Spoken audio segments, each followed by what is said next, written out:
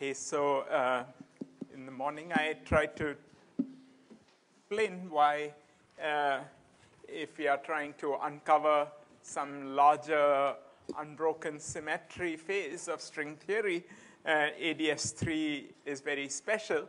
Uh, and uh, uh, so in the rest of these lectures, I will concentrate on a particular vacuum of ADS3, namely the ADS 3 times S3 times T4 vacuum of string theory or uh, uh, so uh, of the type 2 string theory. Um, so this, uh, uh, so I, I, will say a few words about this, but just so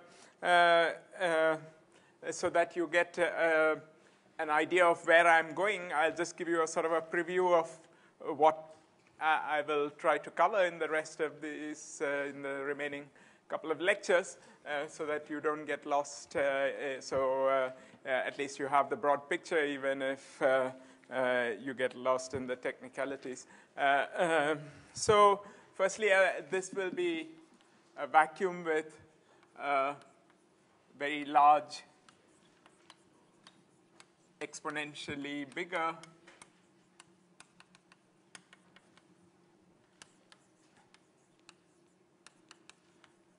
exponentially larger than the Vasiliev uh, uh, unbroken gauge symmetry. So that is the first thing I will uh, uh, try to explain, or equivalently, the dual CFT will have a very large number of uh, uh, exponentially larger number of conserved currents than the bilinear ones that I showed you. That's, of course, if you know the CFT, that's not a great surprise. Uh, that's a, it's a free CFT, and there are lots of these things. The, the really interesting thing about this, uh, this unbroken gauge symmetry is the way you can organize it.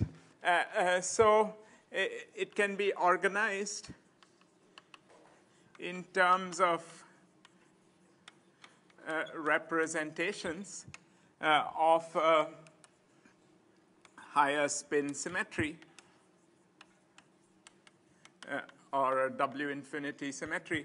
I, I, I, will use these somewhat interchangeably. Sometimes uh, one needs to be a little careful to distinguish between the two. As I said in the morning, the asymptotic symmetry is usually this Brown-Henneaux-like enhancement of the higher spin symmetry, but there's a very definite uh, relation between the two, if you wish.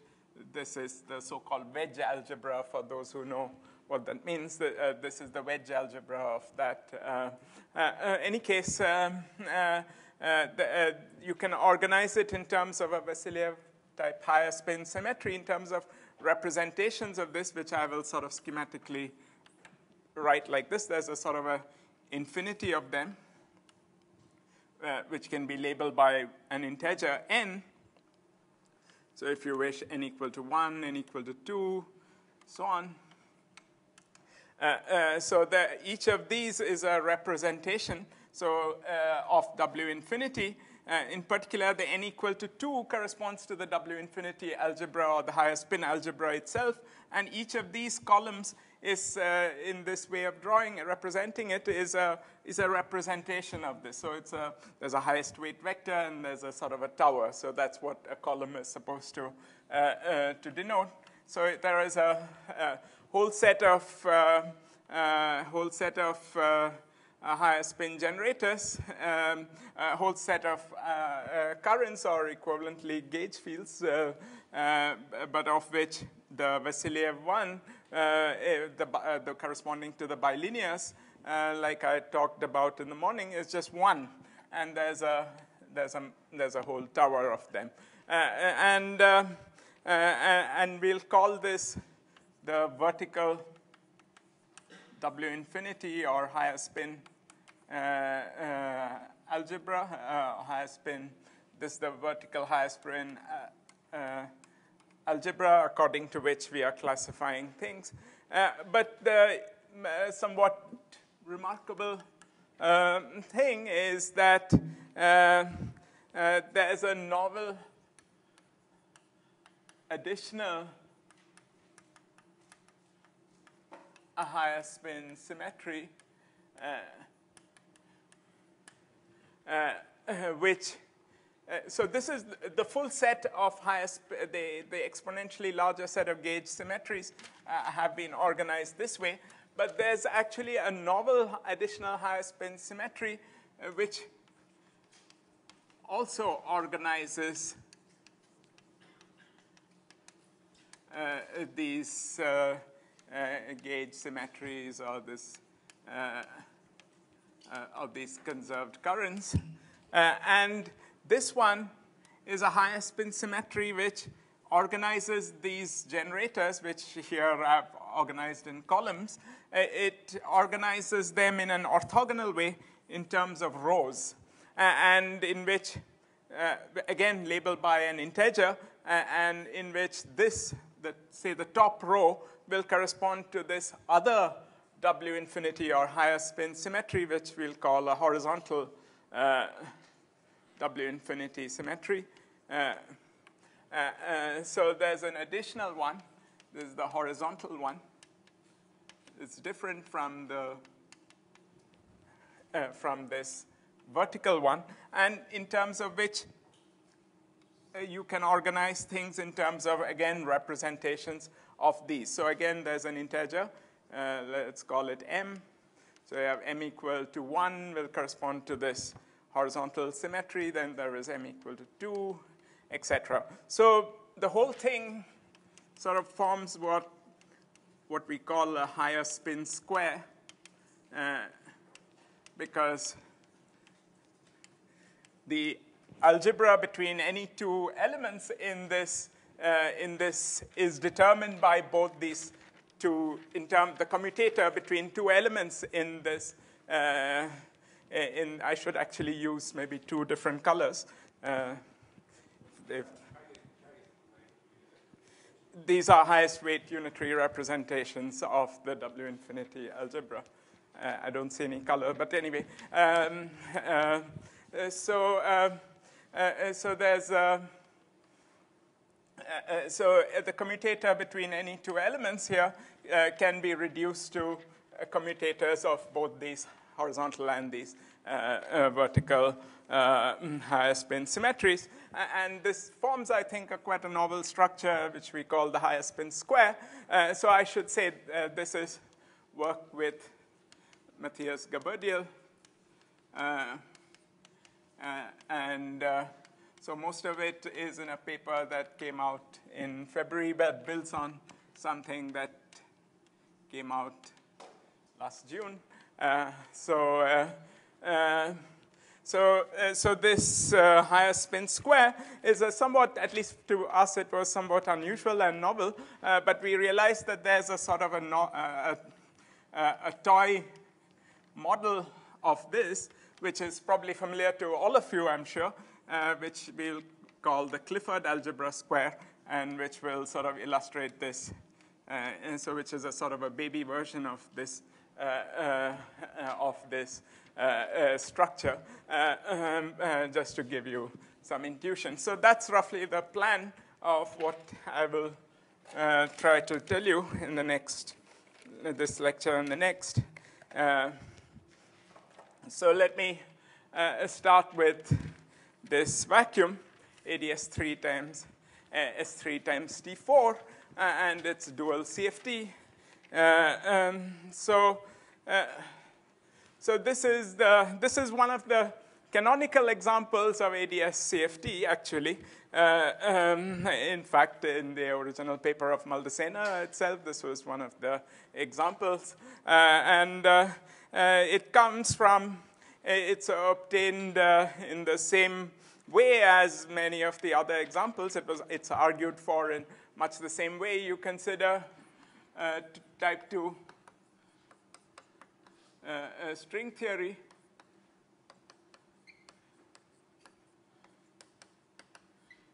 Uh, with D1 and D5 branes uh, on, let's say, R4 comma 1 times T4 times a circle, uh, which, so this will be a sort of a small T4, small meaning stringy size, so you will mostly not have to worry about this, uh, but this will take to be sort of a large circle. Anyway, these details won't be so important. Uh, uh, so uh, uh, we'll consider a D1, D5 system with,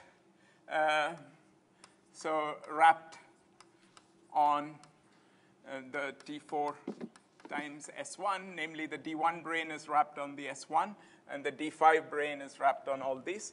Uh, um, so, uh, um, uh, and so the so there, there's Uh, so you can write down the supergravity solution corresponding to this. Uh, again, I won't write all this, uh, uh, but uh, these are standard things that there's a supergravity solution corresponding uh, to this brane configuration, and its near horizon geometry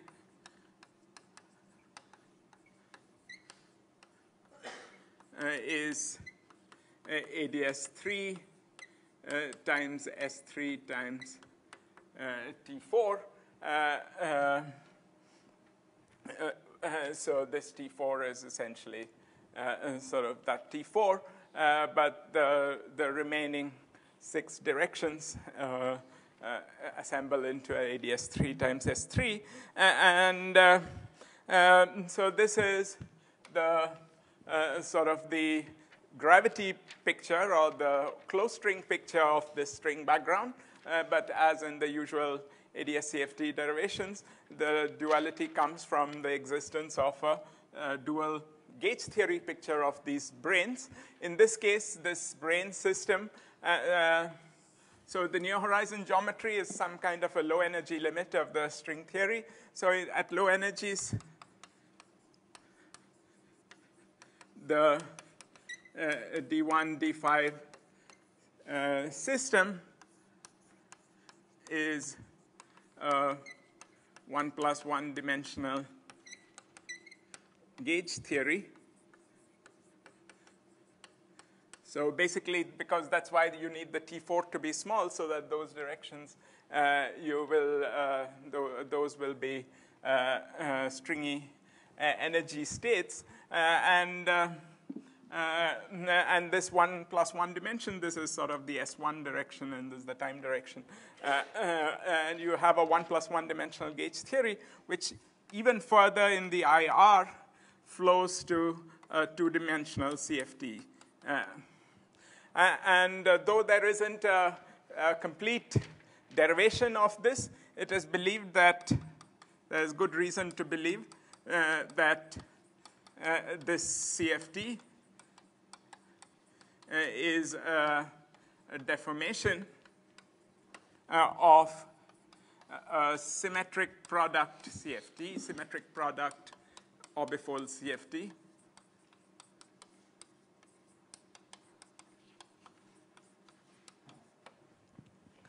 Uh, so what is that? Uh, uh, so this, uh, so this is the symmetric product where you take n copies of the T4 uh, and you mod out by the symmetric group acting on these n copies. Uh, uh, and uh, uh, so this is a target space uh, for this two-dimensional CFT. so you consider where n is Q1, Q5, where Q1 and Q5 are the number of these D-branes. Uh, and uh, so there's good reason to believe this, though it's never been completely sort of proven. Uh, but uh, uh, among the reasons to believe it, of course, are various things like the matching of the moduli space. And more importantly, this is the context in which the original Strominger-Vafa derivation of the microscopics of the black hole entropy of the five-dimensional black hole uh, that you get when you put some momentum along this S1. Uh, this is the context in which uh, the microscopic entropy of that black hole uh, from this geometric picture was matched from the uh, counting of states, in particular of the elliptic genus of this uh, two-dimensional CFT. So there's good reason to believe that it's somewhere on the moduli space of this CFT. So this is a free CFT because uh, we basically have and this T4, so this is actually, a, I forgot to say, it's a supersymmetric theory. It's in fact a 4 comma 4 superconformal field theory uh, for left and right supersymmetries. Uh, and uh, uh, and this, uh, uh, so, so this is essentially n copies of the, of the simplest 4 comma 4 CFT you can think of, namely with four bosons and their partner fermions. Uh, you take n copies of that and, uh, uh, and mod out by the symmetric group. So it's an orbifold of a free theory, uh, which is again uh, can be is described by the uh, is essentially a free theory. So this is this is the basic CFT. Uh, and uh, at the generic point in the moduli space of this um, uh, of the, this of this background corresponds to a deformation of this CFT. So the, the, this CFT is, if you wish, the analog of the free Yang-Mills. So this is the analog of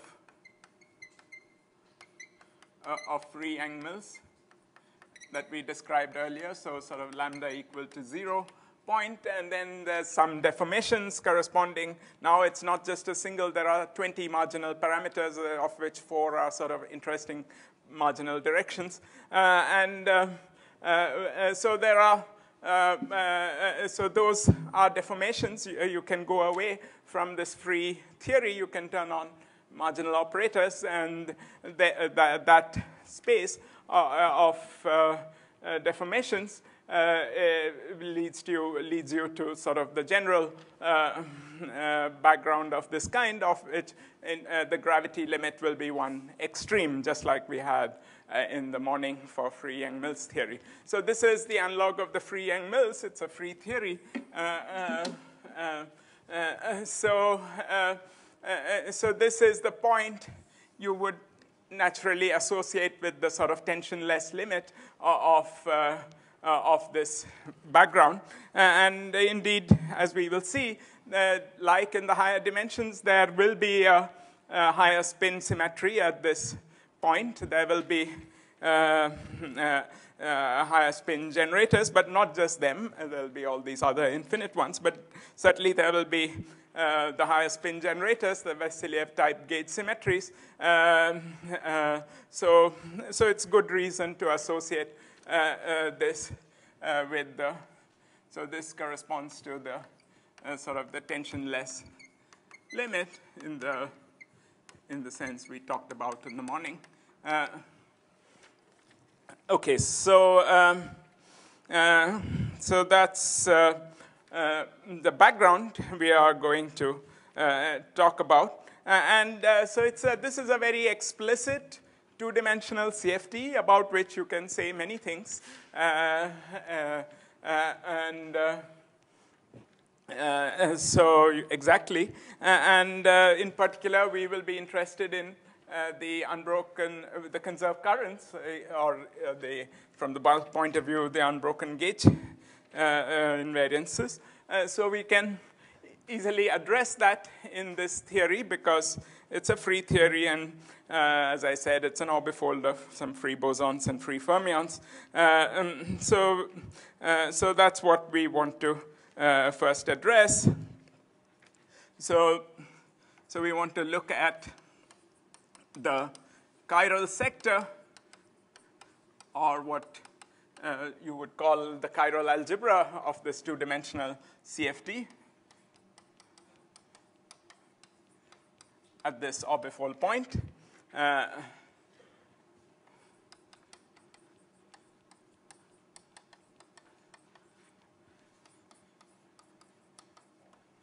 okay, so uh, uh, in particular, we, uh, I mean, actually, in, our, in the first paper that we studied, we looked at the full partition function. And this paper, we actually looked at the full partition function of this CFT, which is actually known, and I'll maybe uh, just explain that uh, uh, briefly. Uh, but you can specialize then to the set of states which are chiral, namely the, which have h bar equal to zero, or, or equivalently the anti-holomorphic part.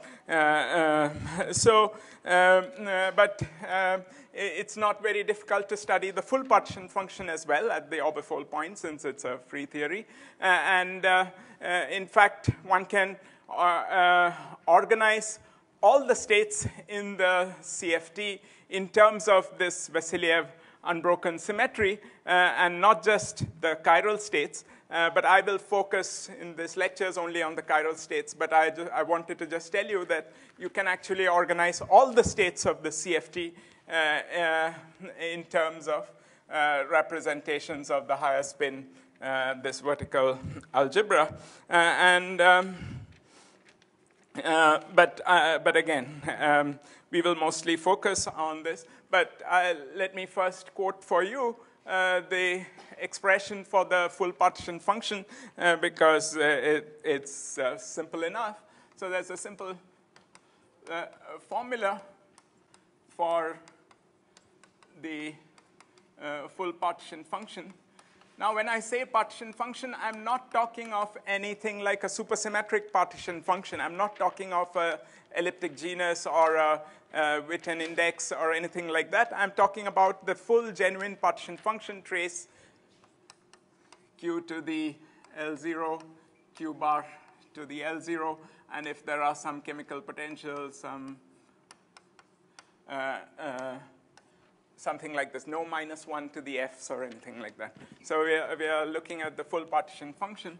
Uh, so of course, this quantity will not be protected as you go away from the orbifold point, but our interest at the moment is not to go away from the orbifold point, but to understand the structure at the orbifold point.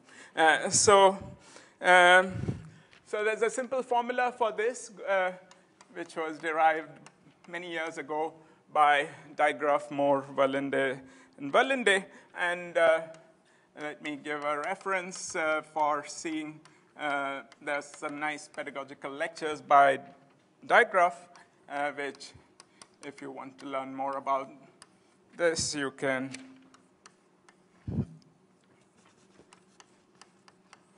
uh, look at this reference. so this partition function of, uh, uh, of, it's a general formula you can write for the partition function. so if we, if we know z of x, where x is some CFT, uh, and if we know this, uh, if we can write this as some uh, C of H h bar, uh, and then let's say r r bar, uh, and q to the h, q to the h bar.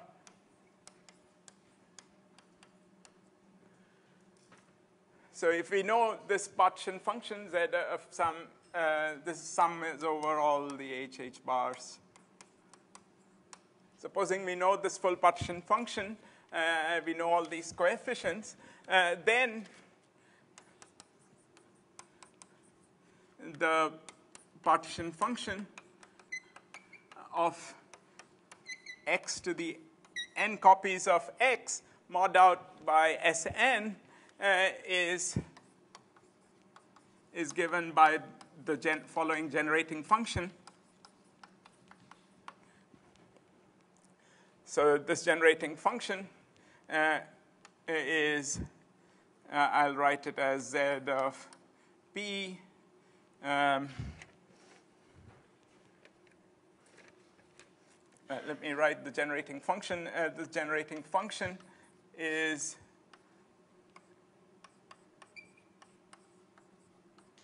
uh, of all these for any n. So it's more convenient to write in terms of this generating function, uh, with p being the uh, uh, with P being the, um, uh, well, if you, let's start with zero so that there's a one. so P is just a formal parameter for this generating series. and this is given in a very explicit way in terms of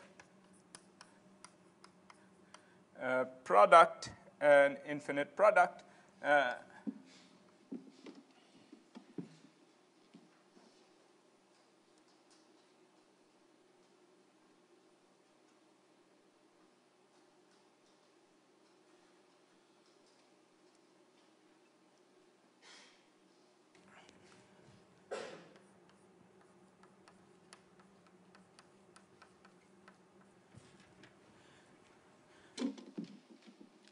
So there's um, an infinite product.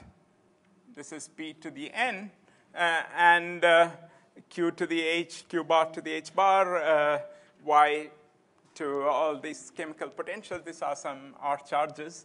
Uh, uh, uh, so it's given by this, and in terms of these coefficients that appear over here in this, um, in the original uh, so you can read it, there's actually a condition as well, h minus h bar should be congruent to 0 mod n.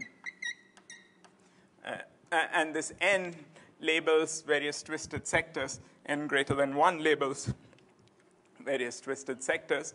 Uh, um, uh, so this is uh, an explicit formula proved by these people. I mean, they their main interest there was for the elliptic genus, but the same argument works for the full partition function. Uh, and uh, uh, so there's an explicit formula. Uh, so if I know these coefficients, uh, and in the free theory, x in our case is just t4, uh, we know these, we will write down explicitly the answer.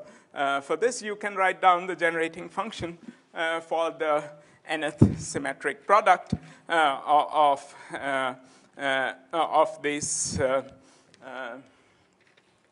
uh, of, for, of this CFT. Um, so, I mean, this may look a little bit mysterious, but uh, just to demystify it a little bit, uh, let me just point out a simpler case which may be more familiar to all of you. Yes, there was a question. Can? Yeah, so these are chemical potentials, y's and y bars for the uh, R charge. Uh, so, um, uh, uh, so this, this symmetric product, taking the symmetric product is like multi-particling uh, uh a, single particle wave function, a single particle partition function. Uh, uh, for instance, in statistical mechanics, uh, you may have often encountered the problem where you have n free particles. You know their individual single particle uh, partition function. So supposing we know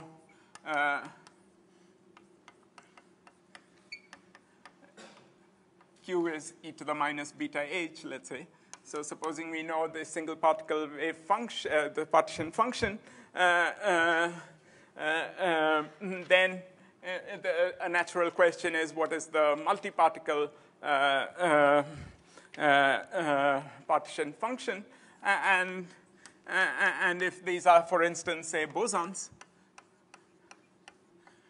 let's say we consider the case of bosons, Uh, uh, let me write it here. Let's say these are bosons. Uh, uh then, then the multiparticle partition function is something you can again write uh, a generating function for it, sort of a grand canonical ensemble for it, uh, where P is the uh, fugacity. so for uh, for the, you can write the grand canonical for a, a partition function uh, with fixed number n. and uh, uh, this is, in fact, just given by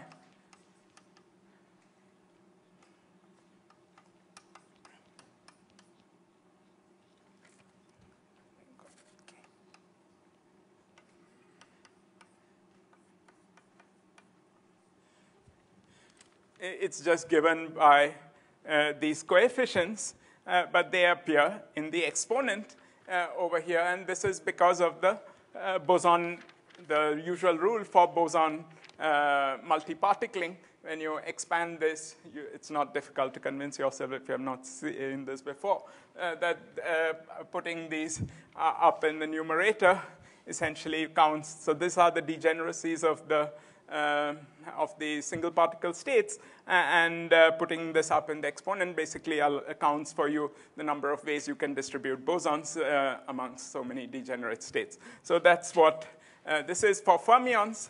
Uh, you would just put uh, this thing in the numerator. so that's the fermionic case. So this thing appearing in the in the numerator or uh, denominator is, uh, is, uh, is a reflection of this um, fermionic statistics or bosonic statistics. And, and here, this is a, a, sort of a simpler version of, how things work in the general case, except that here you have also twisted sectors and so on. But in the untwisted sector, which is where the, which was where the chiral uh, uh, Uh, uh, part will lie, uh, we don't have, to, uh, it's basically this, this logic. So, so essentially, the chiral sector of the T4 symmetric product uh, is the is in fact just the multi-particling of the chiral sector of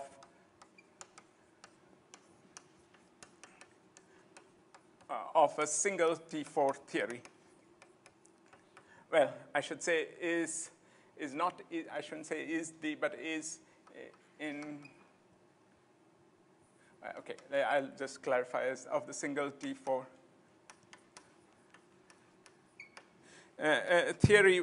By that, what I mean uh, is that if you want to know all the chiral generators uh, of the symmetric product theory, but you want to know, if you want to know their, um, so, so the, this is the full partition function.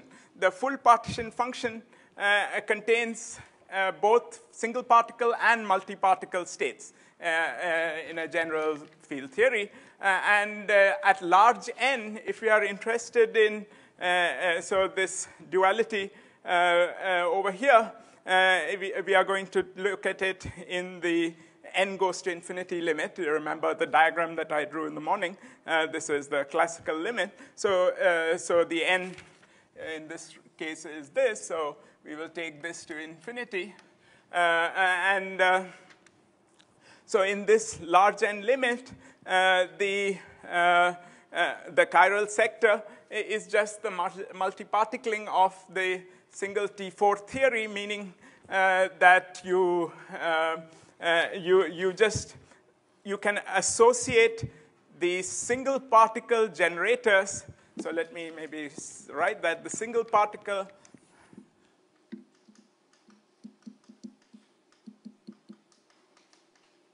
generators uh, of the chiral algebra of the symmetric product of the chiral sector of the chiral algebra uh, of, of the symmetric product uh, is in one-to-one -one correspondence with the chiral, the full chiral algebra uh, of a single T4.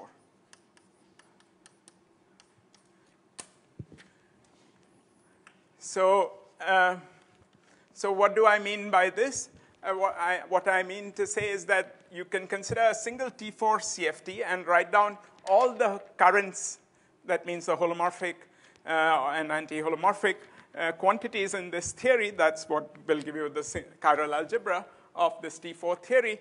And I am claiming in the large n limit uh, uh, uh, these, uh, so as n goes to infinity, in the large n limit, uh, the, the generators, the single particle generators of the chiral algebra of this are in one is to one correspondence with this. And the logic is essentially that uh, I, am I'm, I'm, going, I'm not going to go into the details, but the logic is essentially that of this multiparticling, the, the fact that the symmetric product is some kind of multiparticling.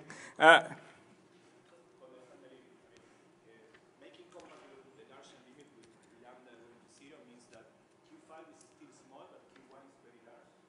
Uh, you can, uh, so uh, uh, the lambda going to zero limit uh, is, I mean, I, am assuming that we are at the free point.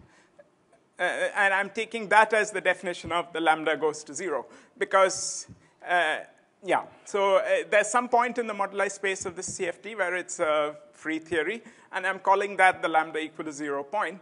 and there I have an additional parameter n, uh, which I will need to take to be large. It depends on, yeah, what you treat as the deformation away from this free point. Uh, um, uh, so in some ways, it is indeed natural to take the limit that you said, uh, take Q5 equal to 1, for instance, and Q1 to be large. And in some ways, that's what we effectively do, uh, uh, and not in this paper uh, though I'm not 100% sure that's strictly necessary. I could take the point of view that I just stated, namely, I'm at this free theory point, and uh, this n is just a parameter, in which case I'm agnostic about how to take Q1 and Q5. But I suspect that, and this is probably related to the confusions about where exactly in the moduli space the symmetric product lies uh, in the D1, D5 moduli space. And perhaps to make that connection, you might need to take the limit in the way you said. Uh, but uh, at the moment, yeah, okay. Mm. Uh, so, um, uh, uh, so what do I mean by this one is to one correspondence. Note that I'm not going to quite say, I'm not, it would be wrong of me to say that the chiral algebra of this theory is the same, or the single particle generators are the same as the chiral algebra of the T4 theory. But I just want to say that there's a one is to one correspondence. So let me just illustrate that because in fact, uh, uh, and I will mostly work in the particular case not of the T4, uh, uh, uh, so I can make the similar statement with, uh, say, T4 go, replaced by a single boson, for instance. and the logic is much the same. It is just for the symmetric product. So let me just illustrate it for this example so that you don't have all the complications of supersymmetry uh, and extra bosons and so on. So if I uh, uh, just consider a single boson, uh, the, so when I say I can make the same statement here with this T4 replaced by R. This would be just R, R to the n mod Sn. So what I'm saying is that corresponding to some, uh, so for instance, this uh, phi is a single boson. Uh, this is an element of the chiral algebra of a single boson. I just take del phi. Del phi is holomorphic quantity. Uh, uh, uh, this, I can raise it to some power. That's an holomorphic current of the single boson uh, of the uh, single boson. That's an, uh, um, an element of this chiral algebra. Uh, but I will associate to that the following generator of the uh, symmetric product uh, chiral algebra. So this is now, the symmetric product chiral algebra has n bosons, uh, and you mod out by the symmetric group. So this is an element of that chiral algebra, which is, of course, by construction, invariant under the symmetric group. So it belongs to the untwisted sector uh, of this orbifold, uh, and uh, uh, is built out of the n bosons. So I, I, can always make a correspondence. You give me an element of the chiral algebra. Uh, over here, I just symmetrize it over all the elements, and I give you an element of the chiral algebra over here. And uh, uh, so, so I can do this uh, for any current, any spin S current. I just do the same thing. I take the n copies of this. Uh, and uh, I have uh, an element of this chiral algebra. Uh, uh, why I want to stress that this is, uh, this is, ah, thanks.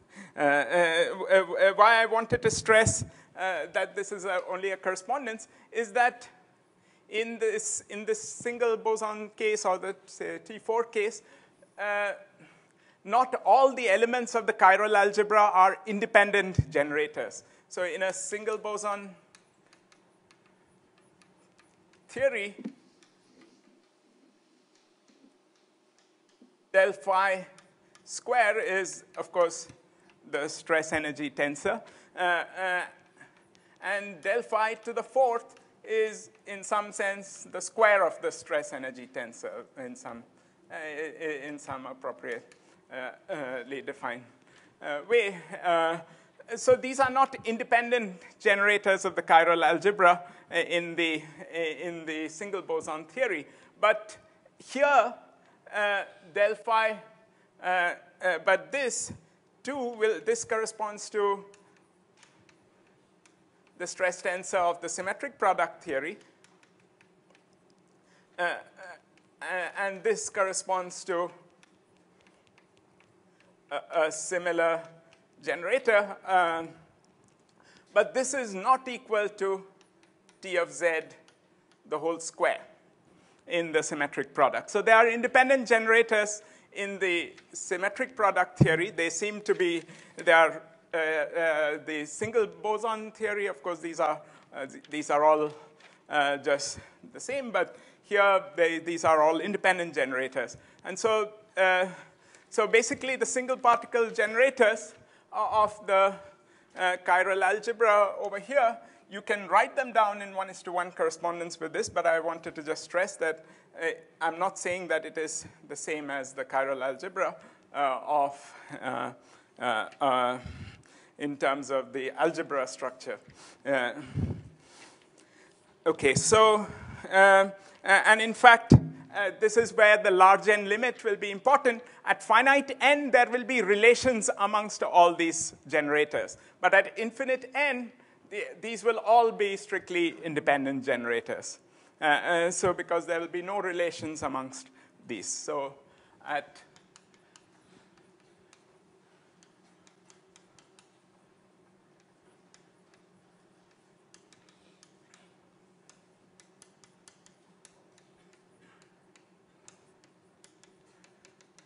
so that's uh, important to appreciate. Um, okay, so, uh, so what I have uh, told you is a way to enumerate all the uh, generators of this unbroken algebra. And I've already, in fact, uh, exhibited to you generators which are not just bilinears. So for instance, this del phi to the fourth, this sort of uh, this is an element of the chiral algebra, single particle generator uh, of the uh, chiral algebra, the chiral sector of the symmetric product theory. And it is not, uh, so it's definitely not bilinears, and I can write out many, many such uh, things. So obviously, the single particle sector states you can see are much bigger than uh, just that of the bilinears, which are a small subset. so, so this enumeration uh, tells us that uh,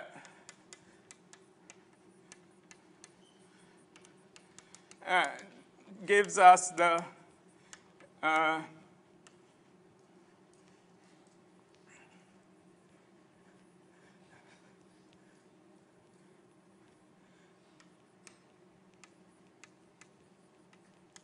generating function for the Uh, uh, uh, for, the, for the single particle generators.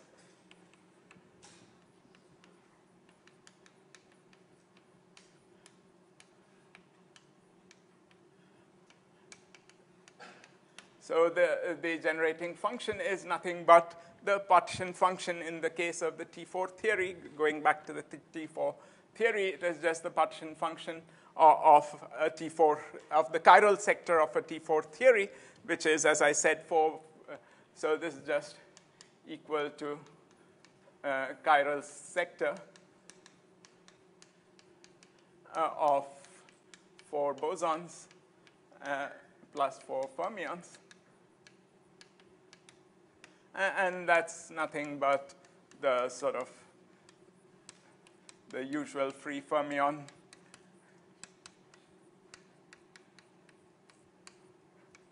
uh, partition function for the free bosons. They carry opposite R charge. Two of them carry one charge into the other. So that's why this is the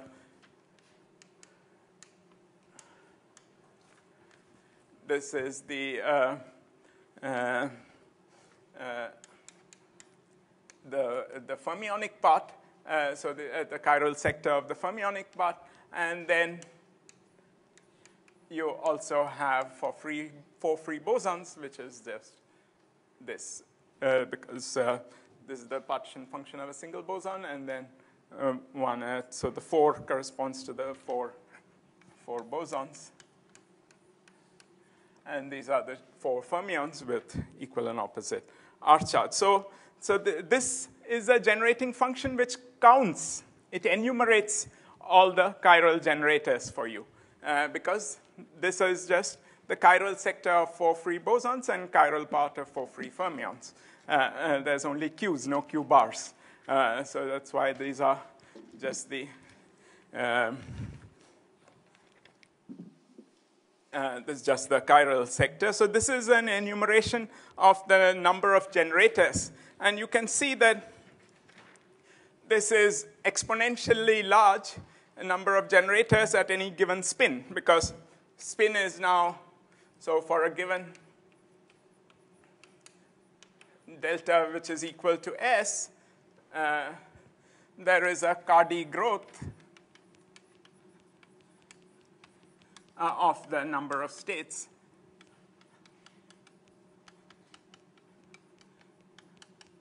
So the degeneracy, so this is an enumeration, and it tells you that at any given, so for q to the s, that's going to tell you the number of generators at spin s, there will be a Cardy growth. So it will be essentially e to the square root s times some coefficient, because it's effectively like some c equal to uh, 6 theory or something. Uh, it will have uh, uh, some coefficient and times e to the root s. So it's a very large, it's unlike the Vasiliev growth.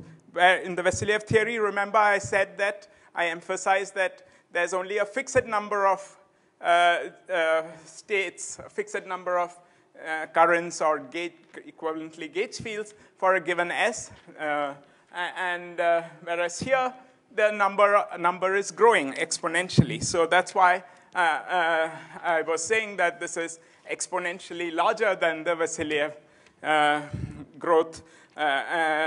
so you have a much larger set of single particle generators or, cons uh, or conserve currents or uh, uh, the chiral algebra compared to the Vasiliev case. Is this clear? Okay, so so we've uh, uh, so we've understood sort of there's a large number so the, by the gauge gravity duality, as I said in the morning, uh, each of these single particle generators, remember it's always the single. Why did I focus on the single particle generators? Because those are the ones which you will associate to the fields in the bulk. The multi-particle generators are multi, uh, just multi-particle excitations of those fields in the bulk. So that's why it was important to focus on the single particle ones, which, as I argued, are in correspondence with those of a single T4. Uh, uh, and they, this is indeed the uh, enumeration of all the single of all the chiral currents of a single T4 theory. Okay, so so now we want to understand how to organize these. So, so this is maybe yeah, I, mean, if you have thought a little about the symmetric product CFT at any point, it would be obvious to you that there's a large chiral sector and this, this is just uh, uh, uh, that. But the interesting thing is to organize this sector. This is a large algebra and a large, this thing, it's not very useful to just say it in this way. If you want to use this unbroken symmetry and to relate it to the Vasiliev symmetry, which is present uh, uh, generic, I mean, which as we saw earlier is the generic unbroken symmetry. If you want to uh, see this as some enlargement of the Vasiliev symmetry, you should organize these in terms of the Vasiliev symmetry. and indeed, the Vasiliev type higher spin symmetry is a subsector of this chiral algebra. And, uh, uh, and, uh, and, uh, uh, and one can show that, but actually I will, to remove various complications or just additional baggage coming from just having four bosons and four fermions and so on, I, I will restrict myself to a simpler case just to illustrate, but things will, you will see, go exactly the same way, just like I did over here. So I'll make the same restriction of restricting to a single boson. It's also good to, because it shows you that nothing depends on supersymmetry in all this. It's just something that would exist for single boson. It's nothing to do with supersymmetry. Uh, um, so, uh, so we'll, uh, so to organize this uh, in terms of the higher spin symmetry, uh, we will restrict to uh, all the statements that I make here uh, are just as good for a single boson. And uh, so we will stick to that. So for a single boson,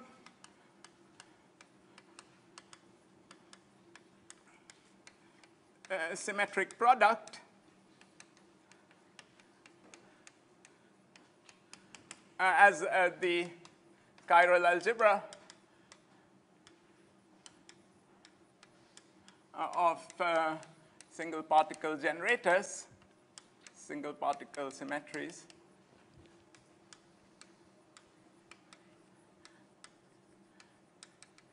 Uh, is one to one to the uh, chiral sector of a single boson, uh, as I described.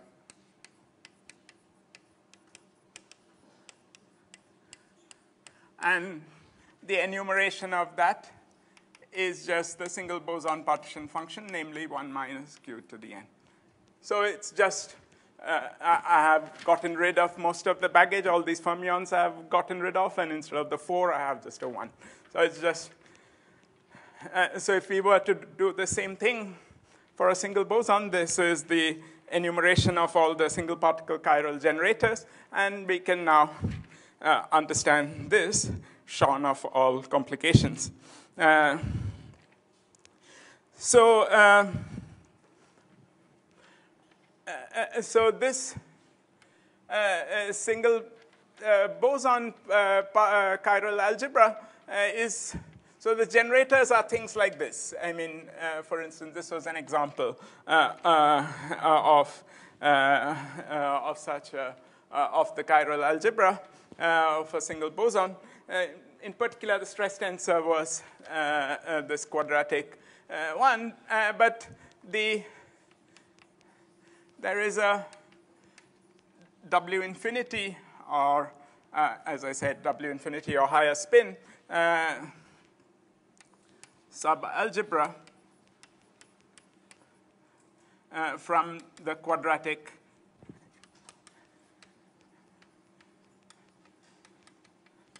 uh, or bilinear uh, uh bilinears. Uh, uh, so they are basically, so you can write W at spin S is schematically some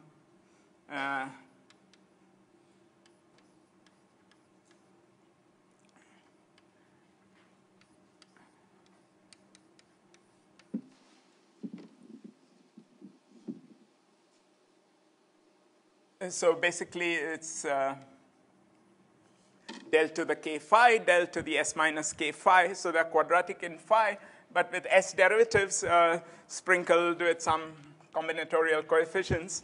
Uh, uh and some combination of this is a primary, uh, and which is a spin s primary. Uh, and this is a, a, subset of this, or subalgebra of this, of this uh, big chiral algebra. uh, because these are clearly holomorphic. They just involve the del. Uh, del is del del z, by the way. Uh, so, um, uh, so these are, this is in fact what is called W infinity at in terms of the general family of W infinity of lambda, this is the particular case when lambda is equal to 1. Uh, and uh, it's the Brown-Henneaux extension of the HS lambda equal to 1 uh, uh, higher spin algebra, which is its so-called wedge algebra. Uh, so, uh, so this is the subset of these. Uh, so I, I, had made the statement that we could organize all the states in terms of representations of this W infinity. So in this case of the single boson, uh, we'll see that all the states, well, I'll at least motivate uh, why all the states can be written in terms of representations of this uh, algebra. Mm. Uh, so, in fact, the following monomials del to the k, uh, del to the m1 phi, del to the m2 phi,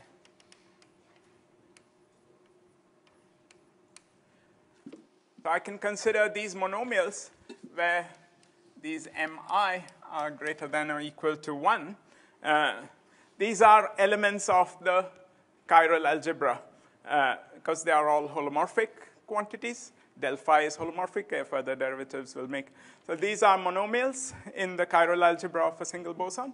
And as I said, you can make it in correspondence by the symmetrization to, to, the, uh, to the symmetric product. So, uh, so I'll uh, write, uh, write down uh, just the uh, one in the single boson theory, and you can always translate it to the other case. Uh, so I claim that these monomials are in, uh, uh, so, uh, so these monomials for a fixed n,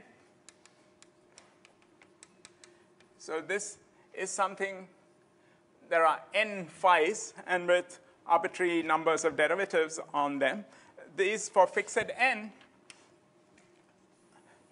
uh, transform in an irreducible representation of this W infinity of 1 or this W infinity algebra under these. Uh, uh, so that's not difficult to, because it's a free theory, uh, uh you, you can convince yourself that these uh, are in a irreducible representation. In fact, the general representations, uh, so we can even say which one, uh, the, this is the representation. So a general representation uh, of, uh, uh, of W infinity uh, of lambda can be labeled by sort of two labels which are, which are, if you wish, uh, Dynkin labels or Young diagrams. Uh, uh, and, uh, um, and, and, and this particular uh, so this is, a this, this, is a general, so a general representation is labeled by uh, these labels, and these monomials transform in the representation where lambda plus is basically the nth antisymmetric representation uh, uh, with sort of n boxes of a Young tableau uh, in, a, mm, in a vertical Young tableau, and lambda minus is zero, is the trivial representation. So it's a very canonical representation, and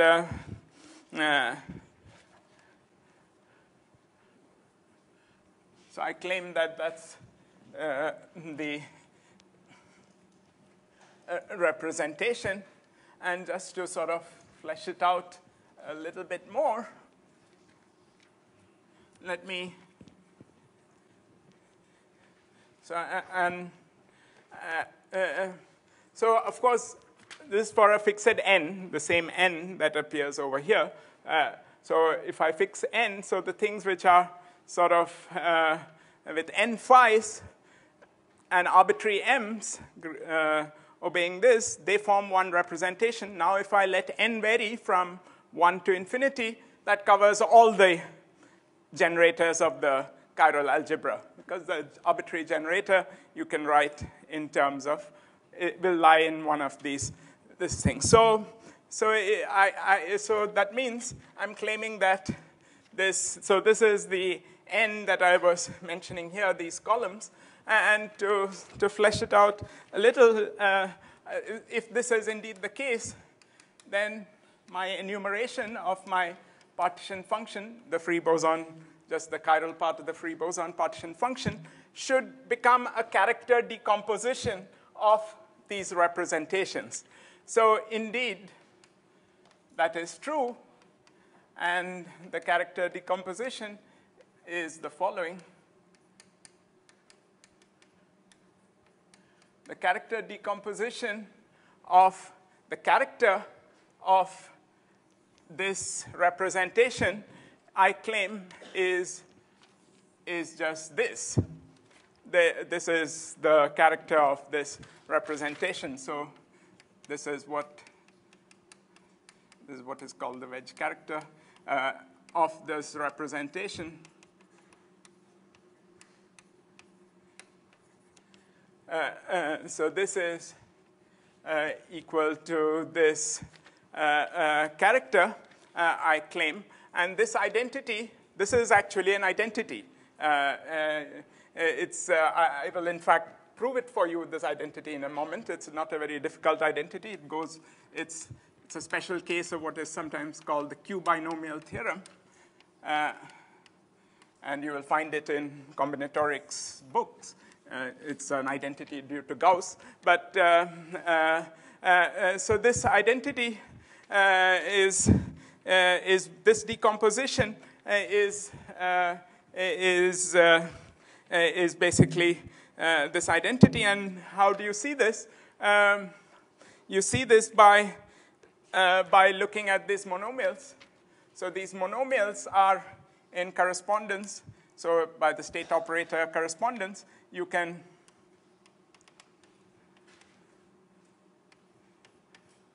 if alphas are the sort of chiral modes of the free boson, uh, these are in correspondence with uh, uh, uh, with states like this uh, in, in the Fock space. and as I vary my m's and, and, my n's, I generate the full Fock space. But you see that I can arrange, there's a boson, there's a single boson, I can arrange this Fock space in the following way. Remember, these mi's are greater than or equal to 1.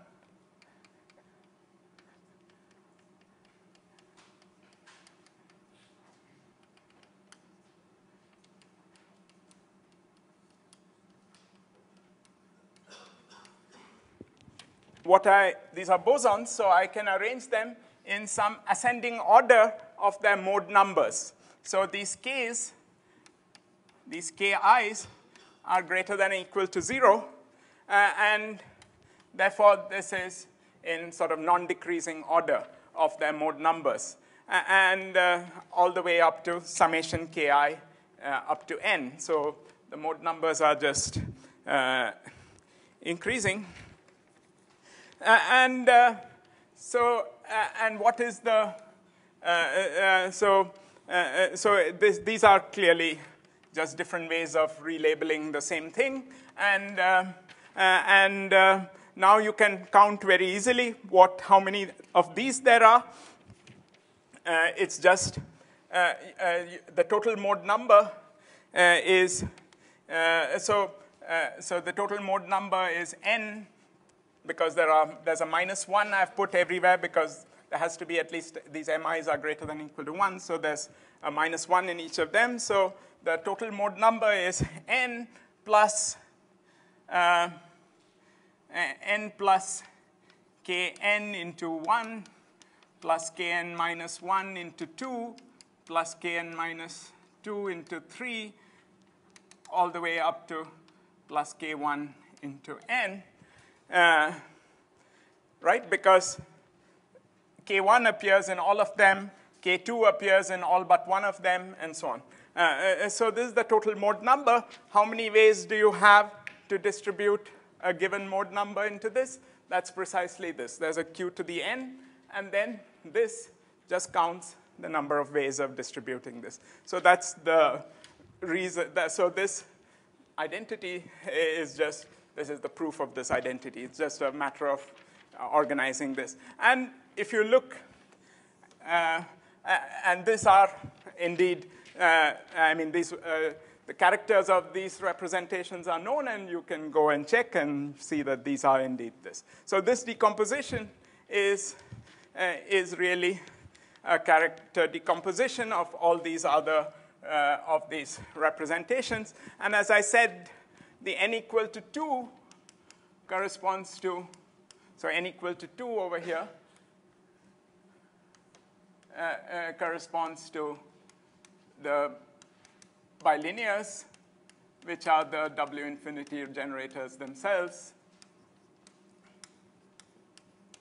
Uh, and uh, uh, uh, yeah, and and, and, and so, so you can think of the whole thing as, as I said, the whole chiral algebra is organized in terms of these columns. Each of these has this W infinity of 1, or this vertical W infinity of which this was the, this was the original W infinity, and these are all representations uh, which transform in a particular way. This is, if you wish, the adjoint representation. Um, by the way, the n equal to 1 is rather trivial. It is just del phi, a single, the a single del phi. In fact, these are just L minus 1 descendants, so that's a little trivial. And my n equal to 2 is the first non-trivial one, and then these are all other representations. So this is the uh, first thing that I was saying that you can organize this chiral algebra in terms of representations of this vertical W infinity algebra. and uh, uh, so, so this tells you, in fact, so therefore, if I wanted to take the commutator of some object here uh, with something over here, the commutator is determined by the fact that this is transforming in this particular representation of this uh, uh, vertical W infinity, and so, so it's just given by W infinity representation theory. Uh, so, so that is, of course, not the most general thing. We don't want just commutators of this with uh, elements here. We want commutators of this with this. and that, I mean, you can, of course, use the chiral algebra to, to compute that, but that's not, we want to do it in a sort of in a more in a nicer way to sort of uh, see the least, the minimal structure that is there. And that's where this other horizontal W infinity will come into play, but that I will describe tomorrow. Uh, so thanks.